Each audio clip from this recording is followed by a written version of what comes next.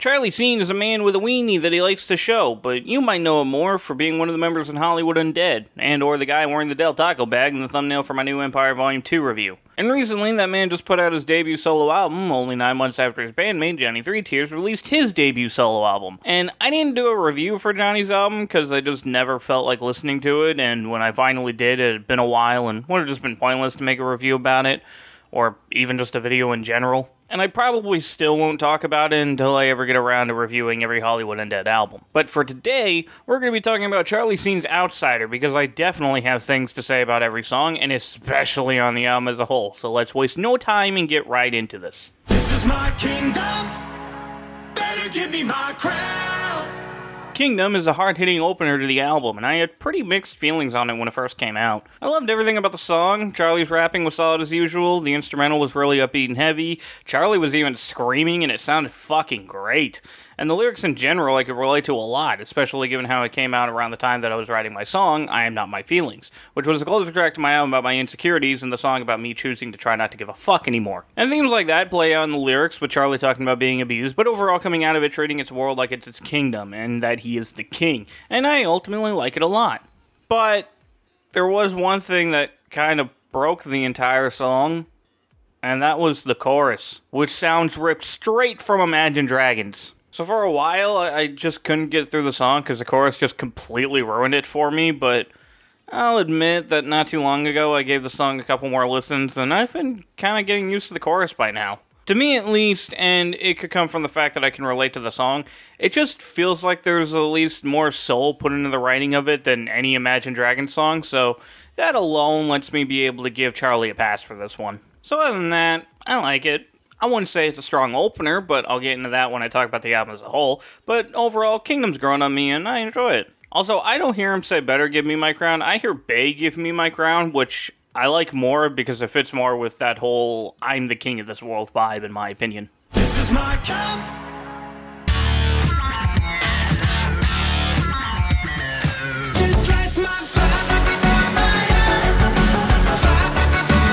Can't Break Me Down was honestly my favorite single out of the four. Because of the vocal chops for the most part. In general, it's like Kingdom, where it's just got this confident vibe for the insecure folk, and I appreciate that a lot. And it's another one that I can kind of relate to in a way. Basically, just whenever I need a somewhat pick me up anthem. The complaints I've heard about the song comes from the instrumental, which I can completely admit sounds very dated, but even that datedness comes into play on the reason why I like it. It sounds like a 2014 song, and if you know me, I have heavy nostalgia for 2014. I mean, also besides, War Child and Party One myself sounded dated as fuck even for its release, so it's not really that much of a big surprise. But yeah, I like the song for that datedness and just for the lyrics in general. Very simple, but very enjoyable. Also, like, any song that has vocal chops in it will instantly win me over because of them. Oh dear God, make it stop.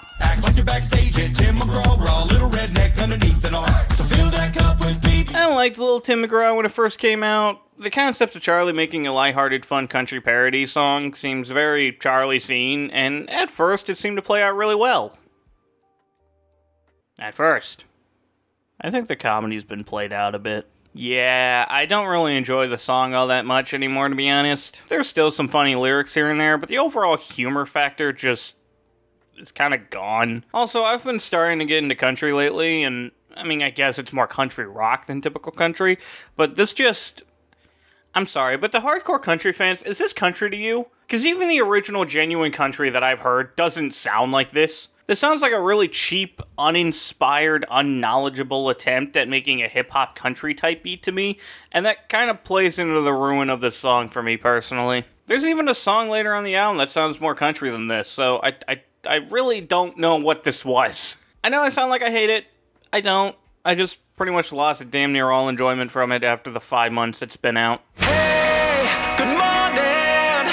I'd hate to leave without a warning. Good Mourning is a more emo style song, and you'd think with my constant pattern of enjoying old school emo rock or the occasional nowadays emo rap that I would like the song, right? Right? Yeah, when this song was released, I felt nothing. Two months later, and I still feel nothing. Other than the fact that it doesn't hit for me, uh, I can say that the mix is shit in my opinion. The master is so overcompressed that it forces itself to stand out on the album. Like, like literally, like by volume. One of the times I was listening to this album, I had it on shuffle, and it went from My Own Worst Enemy to this song, and my god, was it so much louder than the former, which uh, is never really a good thing on an album. I also just don't really like the instrumental on this. The guitar is fine, but then the verse drums just sound really weird, and it's not really my vibe. I guess just overall, I'm terrible at understanding songs. You can't officially judge a song until you know the full detail, and my judgment is just this song isn't my style, I'm just gonna dismiss it. You know, a real reviewer would go listening to the details of songs, but I don't, or I would understand Charlie's chorus on Good Mourning. Take it from me. We've gotten past the singles and now we're in new territory, starting with Take It From Me, which is a pretty fucking good song. The guitar riff is very emo rap inspired, but unlike the previous song, the drums on here sound pretty hard and nice. The chorus is pretty good. The verses are really good, with Charlie bringing in a more faster flow, and I just like the ending of each line being accented with stereo pan backing vocals. It's a simple trick, but I think that just adds a little bit of energy and emphasis on a line. The lyrics are also pretty relatable for me, especially the bridge. Overall, a pretty fun banger, and I can see why it's Charlie's favorite song on the album. One note I have about the song, uh, the last two lines of the second verse, delivery and maybe rhyme scheme wise, reminds me of a different song. I initially thought Jarrell's verse on Worth It, but re listening to that, I don't really see a resemblance. I don't know, it could just be me and my weird way of hearing things. I have a track record of, for some reason, thinking two songs sound similar when they don't in the slightest, so I could just be entirely wrong, but I thought I'd point out either way. Alright, and now for the song that I'm, uh, kind of dreading on talking about.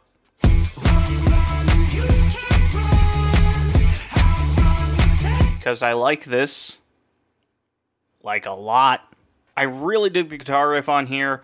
Charlie's amped up bouncy flow during the verses just gets me so pumped. Charlie's voice when he says,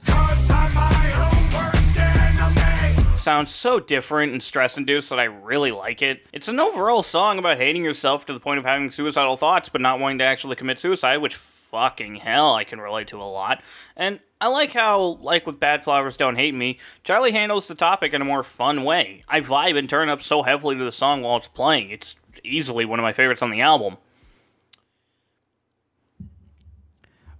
But there's one element of the song.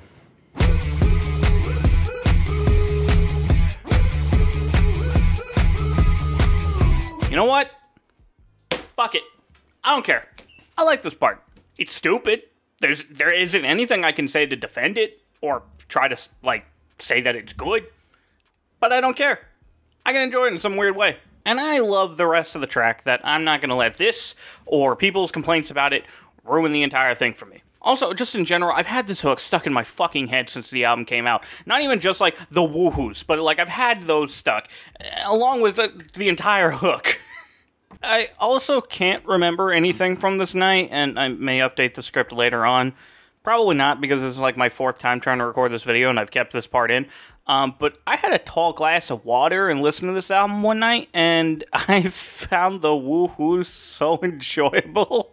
They just sound so cartoony and an overall fun, hyped up song about hating yourself. I kind of like those tone combinations. Plus, Charlie saying Should get you capped. is so stupid. I love it. I find it so funny. I get so much joy from this. Save me from myself. Save Me From Myself is a weird one for me. The lyrics are about being self destructive, which is something I can relate to. I think the instrumental has some potential here and there, but overall, I just. I think it just kind of sounds like a mess. During the chorus, there's this combination of electric guitar and what honestly sounds like MIDI horns, and it sounds so off. And then I realized that it literally sounds like something I would create.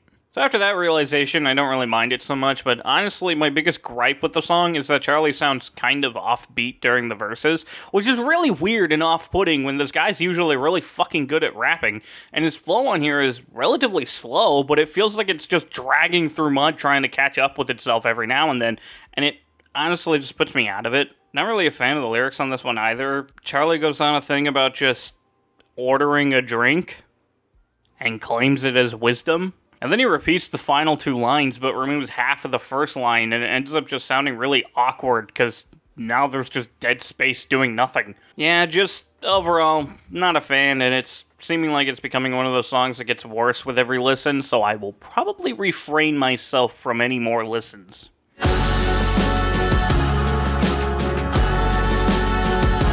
Alright, we're back to the relatable songs, and this one's honestly one of my favorites from the album. I love the vibe on this. It's got such this like rainy vibe, like sitting on your bed next to your window while it's raining. Like that's basically my childhood growing up in Washington. And I heard this on my way home from work, and it just got me in this vibe where I just stared at the window and felt reminiscent. Thank God I wasn't the one driving. But what I love more than the vibe of the song is those fucking choir vocals during the chorus. My God, they sound so good. The second verse, while being short, is probably the most relatable part of the song for me, but the opening to the third verse is also pretty heavy hitting. I find when I relate to a song, I end up having the least things to say about it because it's honestly just pretty hard to put into detail how music would make you relate emotionally, or at least I find it to be pretty hard. But yeah, love the song. Good vibes all around.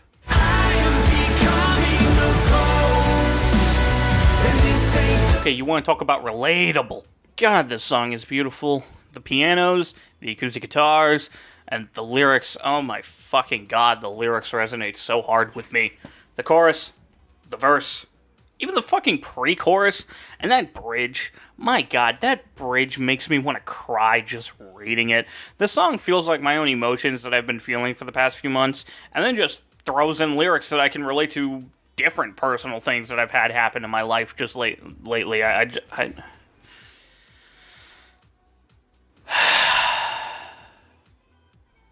I know this is a quick segment, but goddamn, this song was just fucking amazing. In the mouth of madness, through the Okay, well, somehow the album is continuing. Um, again, I'll talk about that more towards the end of the video, but this one is uh, a whole ass definition of a mixed bag. The song opens up with a really nice, calm vibe, which is alright. It sounds nice, but it also kind of feels a bit too folk pop for my liking, but not bad. Uh, then we transition into the verse, and I think it transitions well for the most part. And and this part actually grabs my attention because Charlie is on his Eminem shit, and I find a lot of hype in that. Then Charlie's vocal delivery starts getting angrier, and then he's screaming, and the entire time this is happening, I'm just not feeling it because I'm yearning for some guitar. I think Charlie's delivery on this verse would sound fucking amazing with some heavy metal guitars going on in the forefront of the instrumental. And on my first listen, I was just sitting there waiting for them to kick in. And then the chorus kicks in, and it's the fucking intro. And it doesn't do anything to transition into it. It- It's just a straight up hard cut. And now look, calm and heavy can work together beautifully. A lot of rock songs does, and a lot of songs I like do it. But this straight up just feels like two completely different songs thrown together, and it's so jarring when they switch between each other. And again, why no guitars? That's the thing I want the fucking most. It's a fucking guitar. You, you know what? Fuck it. Fuck it. I'll I'll do it myself.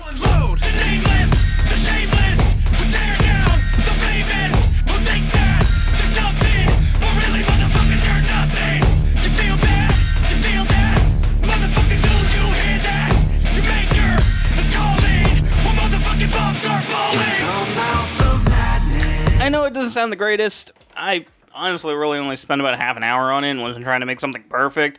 Just a basic example of what I was kind of wanting. And I hope by that example you can understand just kind of what I fucking want from this song. But yeah, uh, the fact that the comp part is the actual chorus is fucking baffling. If, if anything, it should have just been a nice soft intro and like maybe an outro. And if you want a really good example of a song that's able to go from something really calm and nice to something really energetic and heavy hitting, then listen to Fade to Black by Metallica. I know it's a basic example of something like that, but it's a very fucking good one. And personally, given the lyrical topic of the verse and the bridge, I think the entire song should have just been heavy and angry because even the lyrics and the chorus don't sound like they fit in with the song. This was just something really weird and honestly kind of saddening because I can see so much potential in it.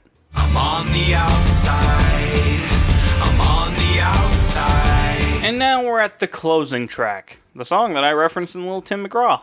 And although it's more cowboy western sounding, I think the instrumental is a pretty nice vibe, and it fits with the theme of being an outsider, or what the lyrics say, a nomad. But my problem with the song goes straight to the lyrics again. Uh, th- this just isn't really something I'm vibing with, to be honest, and it's mostly because of the chorus. The verses are completely fine, but the chorus and pre chorus just don't hit for me. And there's something unexplainable about them that make me just not really like listening to them. Especially the part in the chorus where he says, If I go to war with myself, if I go to war with myself, because it feels off personally. Like when you start a sentence with if, there's a second half that resolves as a question. And if the second half of the sentence starts with an if, then that's because the first half was a result of whatever that if is. But here, there's nothing in that chorus that I can find that would fit or at least make sense. All I can see is Charlie saying that he's going to be on the outside looking in if he goes to war with himself, which doesn't really all make that much sense. Or maybe it does, and I'm just dumb. I mean, genuinely curious about that. If if you have any interpretations on how that's supposed to mean, then gladly leave them in the comment section. I really do want to know what this could possibly mean. I mean, I guess I could see it in a way of like if he's in his head, then he can get reflective. I don't. Uh, uh, maybe, maybe that's it. I, I don't know. Anyways, it's a pretty weak closer, which is a perfect jumping point on my uh, biggest thoughts with the album. Charlie Scene has got a weenie that he loves to show it everywhere. We would never let a female in our group. That would take away from our credibility, and we would be a gay band. This album is kinda messy. And the track list doesn't help it. It was already weird that the first four songs were singles, but released in a different order than they are on the track list. But it's baffling how The Ghost isn't the closer of the album. The song that literally sounds like an album closer is the third to last track on the album. What the fuck was this decision? And also, The Ghost makes some pretty decent callbacks to Good Mourning, so wouldn't it make a bit of sense to make Good Mourning the opening and then The Ghost the closing? Also, why is Little Tim McGraw even on here? Every other song on the album is about emotions and mental struggling, and then there's just this country parody song that feels so out of place thematically. Honestly, just in general, with most of the songs on here being Charlie just dragging himself through the mud and the emotions, the confidence anthems like Kingdom and Can't Break Me Down feel a bit off. I guess in a way they could work as like closers, but then it would just be weird because The Ghost is such a perfect ending. And don't get me wrong, I like 6 out of the 11 tracks on here, but the track listing just feels all over the place. It feels like somewhere here is a great trip through Charlie's emotions. And then Kevin from The Office was the one in charge of carrying it on its way to release. It makes me think of like Bricky's whole an intern was carrying the only copy of The Last of Us Part 2 screenplay during a power surge and then accidentally dropped in, scrambled to put it back together, and ended up putting it together wrong and it got sent out that way. Only the screenplay is just individual note cards with the track names on them. So overall, I'm pulling the old YMS and giving this album a 6 out of 10. Maybe a 6.5 on a good day. I would give it a 7 if it had a more consistent track listing, but unfortunately, it does not. Speaking on the track listing, I'd probably rank from least favorite to favorite, going. Oh boy. Good Mourning, mainly because it makes me feel absolutely nothing. Uh, then In the Mouth of Madness, which the only sole reason why it's above Good Mourning is because at least the verse and bridge is somewhat entertaining to me. There are just in general more elements I like from Mouth of Madness than I do Good Mourning. And then after that, it goes Little Tim McGraw, The Outsider, Save Me From Myself, Kingdom, Take It From Me, Can't Break Me Down, Pray For Me, The Ghost, and finally, my favorite song on the album, My Own Worst Enemy. And that's about it. It's a little disappointing that a Charlie solo album didn't come out being an 8 or a 9, but I did get a decent amount of songs that I like from it. And now all we have left is just the next Hollywood Undead album.